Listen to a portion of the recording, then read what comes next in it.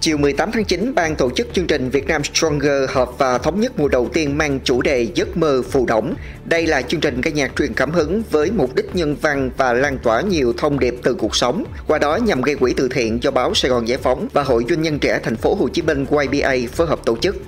Theo đó, chương trình nhằm vận động xã hội hóa và sử dụng các nguồn lực hỗ trợ cho hoạt động của dự án YBA Ngôi nhà tri thức, Thư viện Container thuộc Quỹ Tấm lòng vàng Hội Doanh nhân trẻ thành phố Hồ Chí Minh và chương trình thắp sáng niềm tin vượt khó đến trường của báo Sài Gòn Giải phóng. Thông qua việc tổ chức chương trình để vận động từ xã hội doanh nghiệp cùng tham gia đóng góp tạo nguồn quỹ cho việc xây mới điểm trường, xây thư viện, trao học bổng, xe đạp, bảo hiểm y tế, sữa, thực phẩm thiết yếu cho trẻ em, học sinh khó khăn ở các địa phương trên cả nước.